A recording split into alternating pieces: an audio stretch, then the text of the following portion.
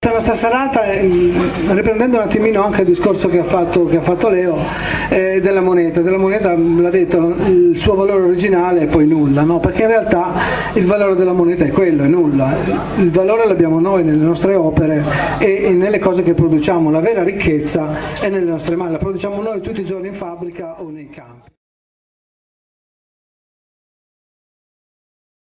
Nella migliore delle ipotesi, un servo di altri. Allora è anche facile capire come ci siano degli interessi di altri stati affinché quelli un po' meno fortunati o più sciagurati nella gestione delle loro cose, e faccio i nomi, la Grecia, l'Italia, la Spagna, il Portogallo, l'Irlanda e poi credo basta perché gli altri più o meno stanno un po' meglio di noi, ma pure gli altri hanno la stessa situazione tragica di non controllo della propria sovranità monetaria. Attenti, pure gli Stati Uniti d'America, anche il Giappone però questi ultimi, Stati Uniti d'America e Giappone, hanno le loro banche a disposizione nel momento della necessità, ossia banca centrale, dice il sovrano, dice lo Stato con i suoi organi, con il suo governo, mi servono i soldi, quelli li deve dare. È costretto a prestare per legge, glieli deve prestare, indebitandosi, eh, chiaramente lo Stato si indebita e questo naturalmente è un danno anche per il Giappone, anche per gli Stati Uniti d'America, però questi stati nel tempo pure loro hanno perso il controllo della sovranità. Perché l'hanno perso? Perché i personaggi, i banchieri, banchieri quello con la B maiuscola, non parlo del banco inteso, unicredito, no, altre, altre, altre cose, tipo la sentita mai nominare Goldman Sachs, Morgan Stanley e via. Ecco.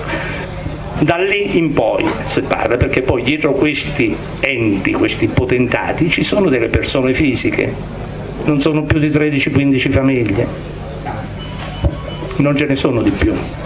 E, qui, e, e questi, signori, questi signori stanno distruggendo il futuro dell'Occidente ho parlato dell'Occidente perché per esempio la Cina non ha la stessa situazione.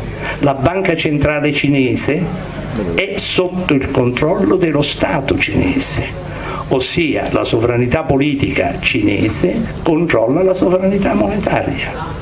Pertanto non c'è tanto da meravigliarsi se la Cina cresce all'8, 9, 10, 11, quello che è. Oltre diciamo, le assurdità produttive, per noi eh, sono assurdità produttive che hanno loro, ma dietro c'è l'organismo che funziona in maniera organica, ossia la circolazione della moneta, abbiamo detto come la circolazione del sangue, è controllata dal medesimo organismo. Non ci sono eh, trasferimenti di controllo, trasferimenti di sovranità. Quelli, quelli sono i personaggi che poi stanno dietro, perché noi quando parliamo così sembra che sono degli enti astratti, dei fantasmi, no, sono persone con nome, cognome e indirizzo. Questo, questo, è evidente. Ma allora diciamo, ma noi i personaggi che abbiamo a capo, io parlo di quelli attuali, chi sono? Servi dei banchieri. Punto. Quello è, perché operativamente vediamo che si comportano in quella maniera lì, da servi. Certo, una persona più importante può essere un maggiordomo, ma sempre serve, sempre, sempre di serve si tratta. Questa, questa, è la dura ma quelli che c'erano prima, attenzione a certi livelli, non tutti, non tutti, ma una parte importante, pure loro io mi sono sempre meravigliato come la sinistra, che tutti quanti noi conosciamo, non si sia mai schierata in maniera netta, in maniera forte contro queste situazioni indecenti e impossibili. Mai sentito? Sono i primi servi.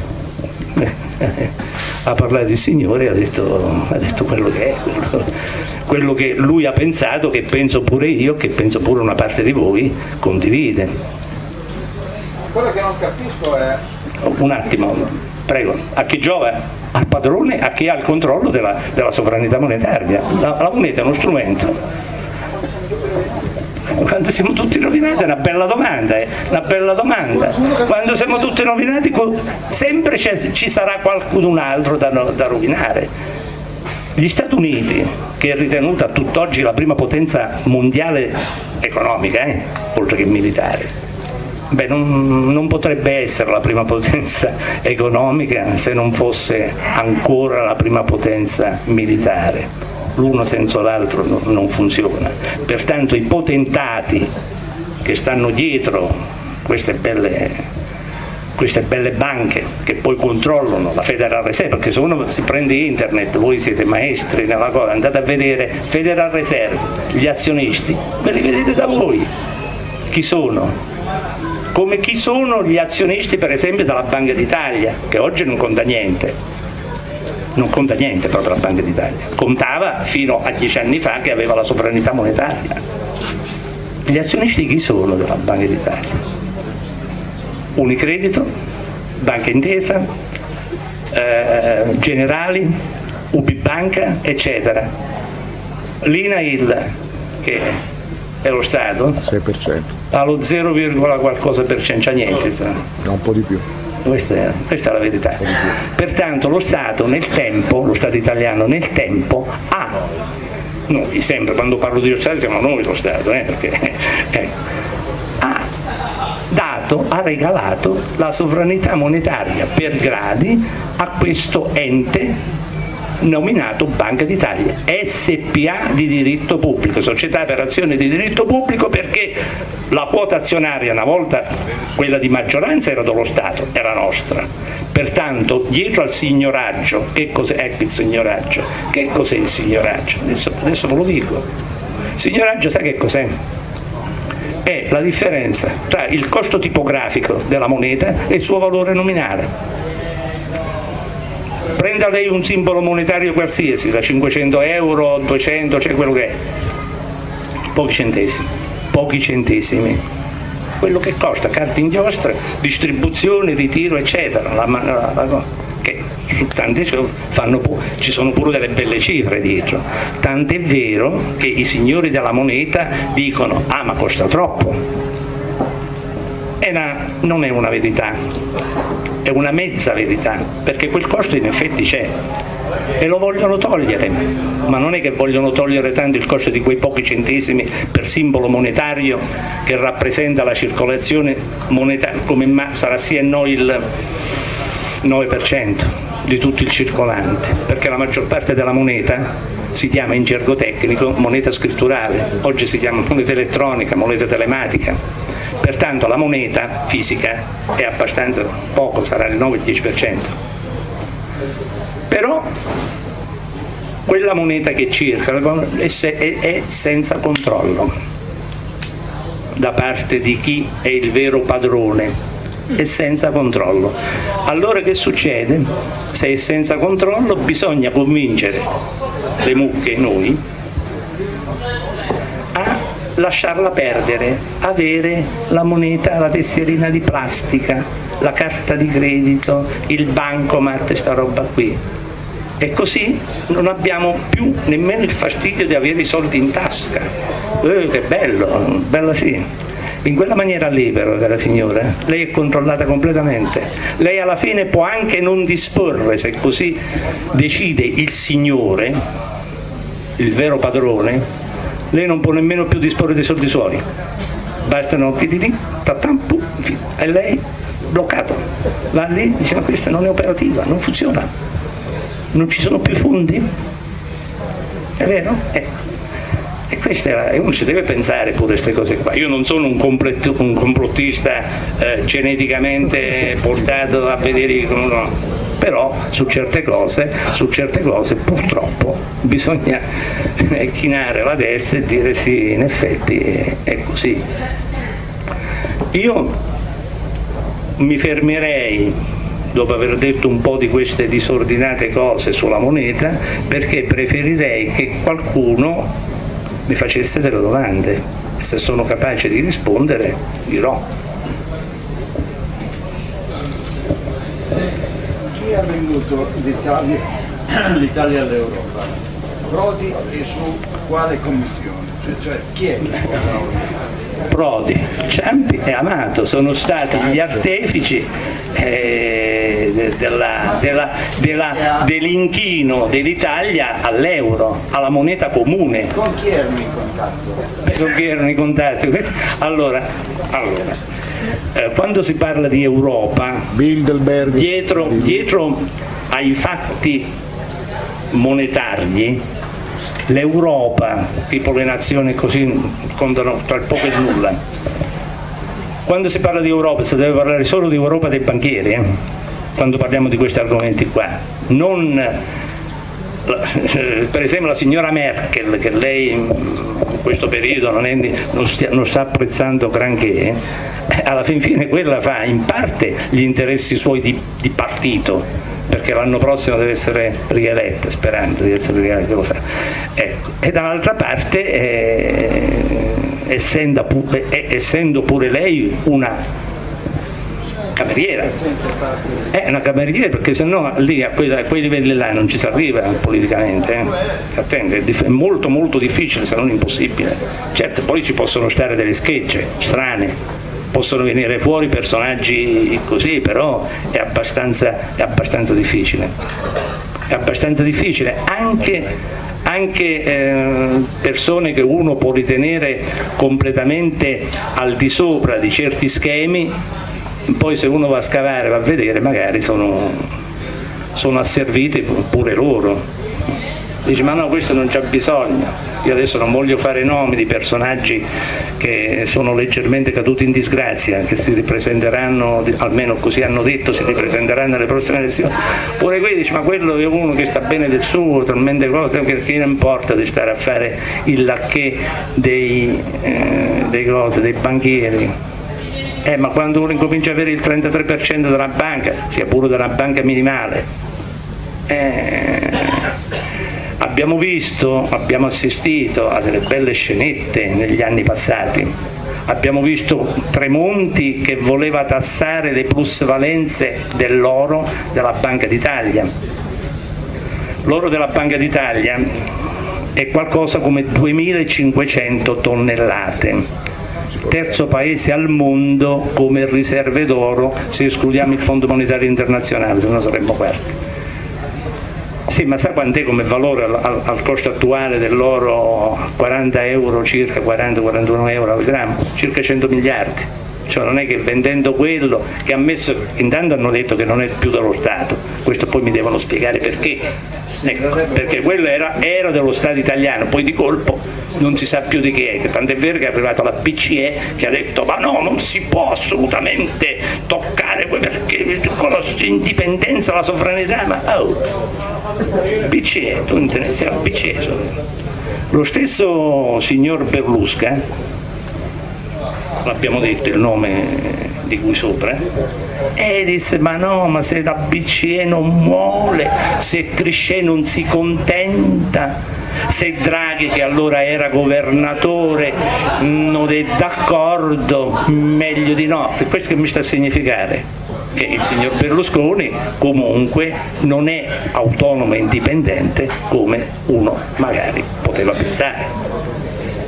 Io l'unico personaggio politico che adesso è in disparte, che ha avuto il coraggio di dire più volte, è presentato pure una legge che rimane inoperante, di dire più volte che la sovranità monetaria deve ritornare allo Stato, si chiama Giulio Tremonti nel bene e nel male, questo io devo dire, questo io devo, devo riconoscere, ci sono documenti, interviste, ecco, certo non è che ha avuto, eh, diciamo, forse ma, sarà mancata l'opportunità, forse ha ritenuto ehm, non necessario dire le cose come le sto dicendo io in questo momento, però l'unico uomo politico che io non ho proprio 21 anni, moltiplicate per 8, per 4, per 5, va bene mettiamoci d'accordo signora, ecco così, che è la prima volta che ho sentito un uomo politico, ministro,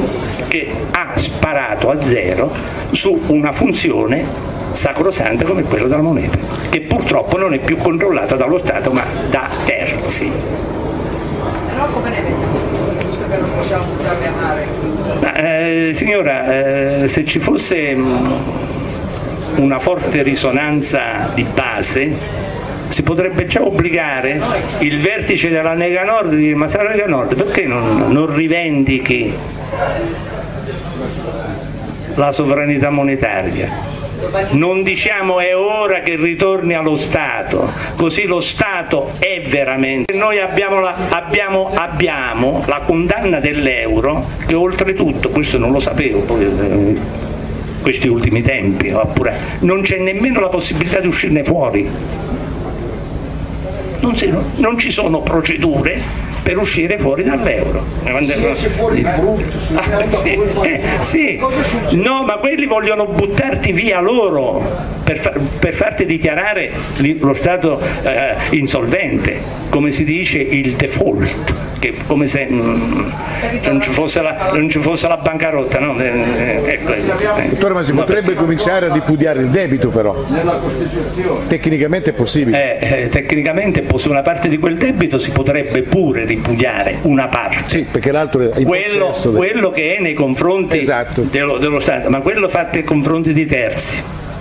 Per esempio lei, non lo so, la signora eh, ha nei, nei suoi titoli risparmiucci eccetera, o risparmioni, eh, ha dei titoli di Stato, che fa? Gli, gli diciamo adesso vale la ma metà, distinguere, vale più niente. distinguere ciò che è nelle mani dei cittadini italiani e ciò Eh, che invece non è nelle eh, mani. bisognerebbe è la percentuale oggi, maggiore. eh, bisognerebbe oggi quantificare quello che sta in mano eh, a terzi e quello che sta in è mano abbondantemente superiore. alla banca centrale. Quello che è in mano a terzi è abbondantemente superiore. Eh, ma sì, ma, Il Giappone è il problema inverso. Eh, c'è il non è un 96% in mano, in mano- è in mano alla banca centrale. Ok. Eh, è- La signora mi deve fare una domanda. Ah, Dica. devo chiedere questo, nell'81 no? quando lei ha raccontato che Andreatta ha Eh. Sì. proposto No, a proposito, ha fatto la legge. ha fatto la legge, Eh. però sarà stata votata da qualcuno. Tu, beh, hanno la maggioranza l'ha dovuta votare, come, maggioranza- come si suole fare nei paesi cosiddetti democratici, no? Sono resi conto di quello che stavano votando, secondo me E- non- allora, eh, una, mani- eh, una volta i politici erano su questi argomenti erano una manica di ignoranti. Io sono appena, io sono più di 45 anni che ho avuto così opportunità di sentire queste cose qui. Erano una manica di ignoranti. Oggi, signore, c'è una manica di persone in malafede. Ecco. Non ci sono più gli ignoranti, no, no. ci sono persone in malafede. Mi dica. Io non capisco la, che differenza che eh, ci sia tra l'euro eh, in Germania e l'euro in Italia. Vi spiego perché qualcuno va a comprare i Bund germanici non pagando, cioè avendo Eh, eh. ma pagando perché glieli tengano. Ma che differenza c'è? Allora, allora, allora, lei sa che eh, cioè, ci sono le manipolazioni. L'Italia non è la Grecia, l'Italia non è nemmeno la Spagna, nemmeno il Portogallo. L'Italia per certi versi è meglio dell'Inghilterra che non ha l'euro, però la Banca d'Inghilterra è il terzo socio della BCE, tanto per parlare di cose strane. L'Italia è un paese che ha la possibilità di pagare i propri debiti, parlo di debito pubblico, ce l'ha.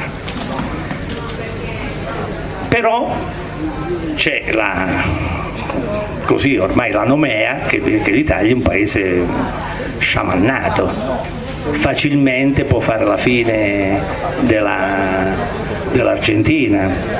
Eh, per- pertanto se io presto i soldi a te, italiota, per dire in senso spregiativo a te italiano che non vale niente, eh, te- eh, beh, io voglio il 10%. Dalla Germania sono belli tedeschi, hanno le Mercedes, le le Audi, le cose, sono ricchi, le Porsche, eh, le, le Cayenne, tutte queste robe qui, gratis. Tant'è vero che praticamente danno i soldi della cosa a interessi pressoché zero. Noi paghiamo il 5 e il 6%, loro pagano niente. Pertanto finanziarsi in quella maniera lì è comodo, però sta attento un danno proprio alla Germania, perché il capitale comunque lo devono restituire, attenzione, il debito pubblico della Germania non è quello che si dice, è di più, molto di più, perché non, mettono, non mettono nel loro bilancio i debiti dei lender, perché no, è uno Stato federale, no? Questo vale pure per gli Stati Uniti d'America, eh? gli Stati Uniti d'America sta in una situazione terribile, giusto? Poi ve lo, ve lo racconta l'amico Vito qui. Ma quando in Mortadella, Mortadella, amico nostro, disse italiani, brava gente. Mm. Ah.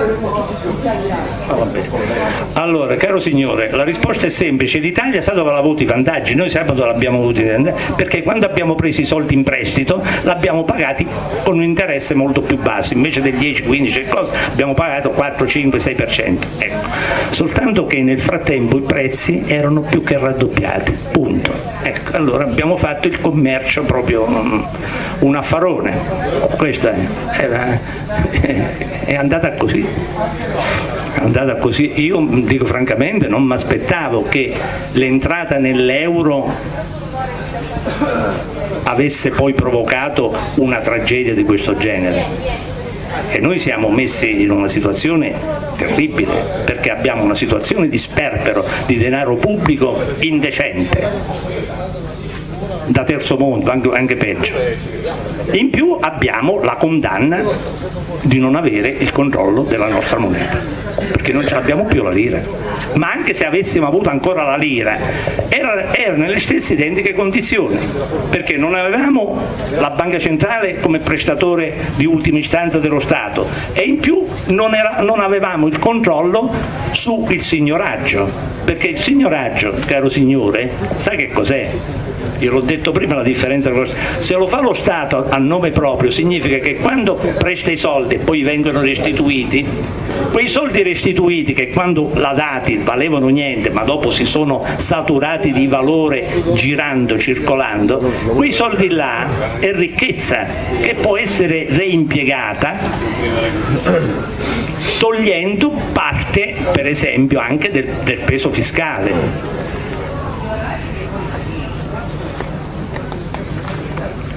Questa è la, questa è, questa è la, è la cosa soltanto che questi sono giocattoli formidabili in, ma in, mano ai banchieri. Lei pensa che un banchiere eh, di quel genere, di quella fatta lì, rinunci facilmente a questo privilegio, perché è un privilegio, della sovranità monetaria? Non l'acquisì? Mm però certo se, uno Stato va via, io esco fuori dall'euro, ritorno alla mia banca centrale e la banca centrale con la legge che aveva fatto Tremonti che è rimasta inoperativa si applica e automaticamente viene liquidato l'azionista delle banche che abbiamo detto e ritorna ad avere la, la maggioranza, cosa sono stati italiani e a quel punto, a quel punto le cose potrebbero prendere un'altra piega, però rimane sempre fermo un fatto, se c'è lo sperpero che abbiamo noi in Italia, eh, possiamo avere tutte le sovranità monetarie di questo mondo, possiamo attenuare, ma non è questa cosa, perché se uno produce 100 non può spendere 150. Scusi, io la... mi... prego. ma il fatto di non avere più loro casa nostra, fuori, potrebbe essere una forma di ricatto. Non ho capito. C'è l'oro che eh, dovremmo avere il loro. Ah, il lo, l'oro, sì, eh, c'era la Banca d'Italia. Ma dato che è messo in... No, no, no, no, no, no, la, la città. È tutto a casa nostra? No, ce l'abbiamo, vabbè, ma comunque sia, può essere pure eh, trasferito, ma la, quelle so, sono per le transazioni internazionali, quello che dice che, che sono nei sotterranei di, di Nuova York, lei, quello è quello che si riferisce, sono, non sono i 2500, quelle sono le 2500 tonnellate ce l'abbiamo noi per fortuna sono in Italia, ma sono, comunque sono 100 miliardi. Sono 100 miliardi, non è una cifra che come, hanno- come ha detto una volta qualcuno dice ma noi vendiamo quello e chiudiamo il debito pubblico, purtroppo no. Cioè, il discorso era questo, che se li hanno fuori, se noi ritorniamo la lira non ce li danno più indietro. Ma no, no, no, non è così. No, quello, l'oro, che sta, l'oro che sta a New York serve per certi tipi di transazioni dove non è possibile lo scambio di merci con delle monete. È capitato alla Germania del Terzo Reich, questo però è un'altra storia, ci vorrebbe un'altra conferenza qui. Capitato a tempo della Germania del Terzo Reich, eh, transazioni internazionali non se le facevano più, quelli avevano dell'oro in riserva e hanno adoperato, hanno adoperato quello, quando non era possibile fare altro hanno fatto quello.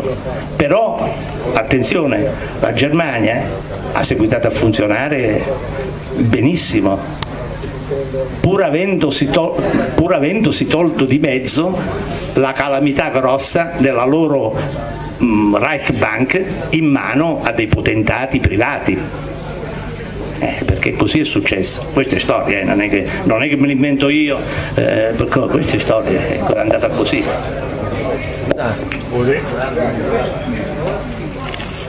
Quando le banche sono senza soldi e vengono ricapitalizzate, cioè gli vengono dati dei soldi, chi gli dà questi soldi?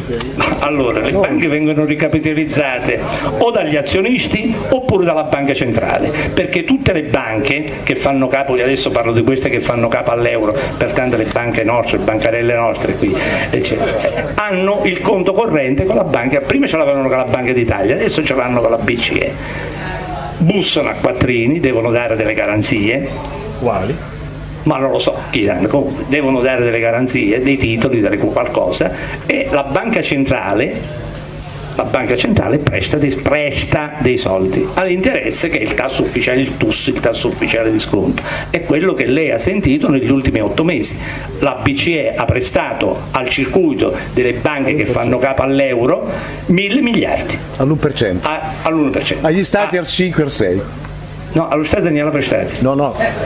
No, Ok. lo Stato Dicevo- li deve pagare 5 e 6 verso terzi Ok, e poi sono le cosa. banche che ricevono quei soldi che dice ma guarda un po' adesso voglio fare il generoso mi ti compro un po' di tuoi T però voglio il 6% Sì, con un passaggio ulteriore, Sì, eh, vabbè, era quello che questo è- intendevo. questo è quello- il bello di, di queste cose qui quello che stavamo dicendo è assurdo è assurdo lo Stato si deve stampare i propri soldi deve mettere la propria moneta a costo nullo la fa girare si satura questa è la famosa teoria del valore indotto. Si satura di valore e dopo con quei soldi che ha incassato lo Stato perché come se li incassasse ci può fare quello che vuole.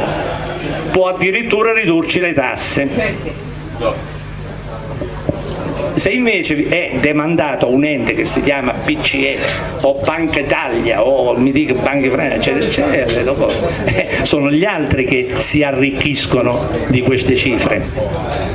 E questa però è tutta un'altra storia, spiegare come fanno, come non fanno, per non farlo vedere perché poi non, ha- non deve apparire sui loro conti. Allora secondo così, eh, Eh. No, non è secondo me, perché io le cose che dico è quello che... potremmo pensare che potrebbe succedere? Quello che potremmo sapere l'ho detto prima, dovremmo cercare, per esempio ecco la Lega, la Lega Nord, con i suoi vertici, dire signori, qui c'è un'anomalia grave. C'è l'onorevole Borghese che queste cose qui le dice da anni, però io so- solo quello conosco, non ne conosco altri. Ogni tanto Speroni si vede. Non lo so, spero non l'ho mai sentito, però Borghese sì. Sì, sì, Borghezio, certo. Tremonti ha fatto una proposta oggi. Tremonti non ha fatto una proposta oggi di legge. Tremonti ha fatto una legge che è rimasta inoperativa, quella di oggi non lo so che ha fatto Tremonti perché non ho comprato, non ho comprato né il giornale né l'ho letto, perciò non, non so che è successo. Eh, chi ha sentito? Tremonti ha fatto una proposta di legge eh, d'accordo con eh, i deputati della Lega.